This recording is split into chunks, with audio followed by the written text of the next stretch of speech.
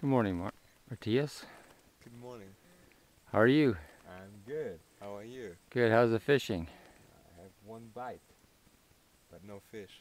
Oh, you got one little one. Yeah, okay. You had to throw him back, but Beautiful.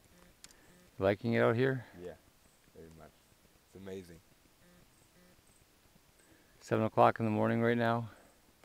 I think we got to get up at five tomorrow morning and do it. Yeah. So what do you think of Killarney? Take a look around. So, what do you think? I think it's Sun's just coming up over the trees.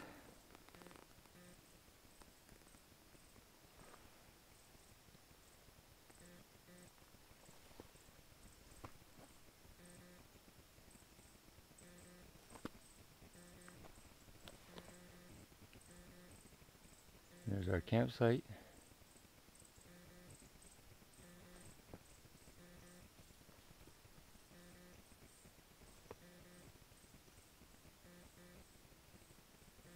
And then we're back to the famous fisherman Matthias.